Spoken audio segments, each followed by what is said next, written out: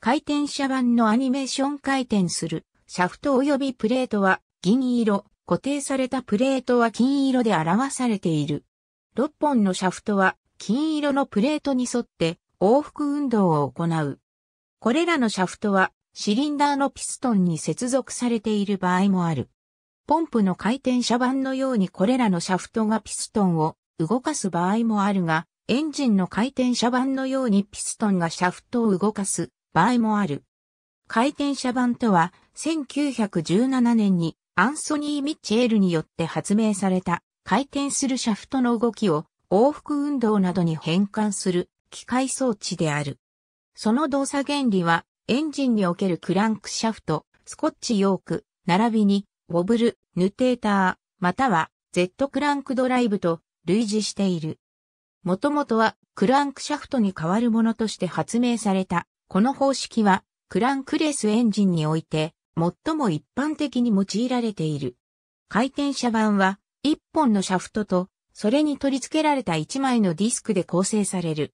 ディスクをシャフトに対して垂直に取り付けた場合は、シャフトが回転してもディスクが回転するだけで往復運動は生じない。一方、ディスクを斜めに取り付けた場合は、定点から見るとディスク外周の軌跡がシャフトの軸方向に揺れ動いて見える。ディスクのシャフトに対する取り付け角度が大きいほど、この見かけ上の直線運動は顕著になる。フォロワーをディスクの側面外周に近い箇所に押し付けることにより、この見かけ上の直線運動を実際の運動に変換することができる。この装置の構造はカムに類似している。回転車板エンジンは回転車板をクランクシャフトの代わりに用いることにより、ピストンの動きを回転運動に変換するものである。この機構は内燃機関及びスターリングエンジンの双方で用いられている。デュークエンジン社は1993年からこの方式を用いたエンジンの開発に取り組んでいる。アキシャルピストンポンプとは、シャフトと同軸に並べられたピストンを回転車板を用いて運動させ、液体を送り出すものである。回転車板を用いた液体ポンプの例としては、近年の自動車用エアコンに用いられているコンプレッサーがよく知られている。この方式では、回転車板の角度を変化させることにより、ピルトンのストロークを動的に調整することができる。ヘリコプターに用いられているスワッシュプレートは、回転するプレートと固定されたプレートの2枚のプレートで構成され、メインローターシャフトと同軸に配置されている。